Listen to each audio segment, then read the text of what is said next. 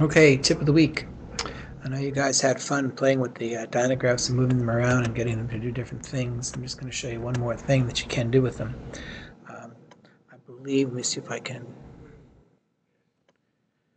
show the different functions. One of the things that you can do is you can take the input from this function and if you split it from its axis, you can actually merge it to the output of the first function.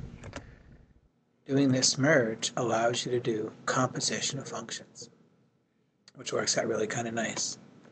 Um, very simple to do. Again, we take this last one, we'll do a double composition here.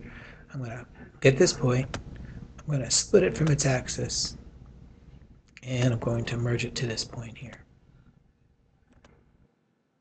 And of course, what I have now is a very nice composition of the three, three functions.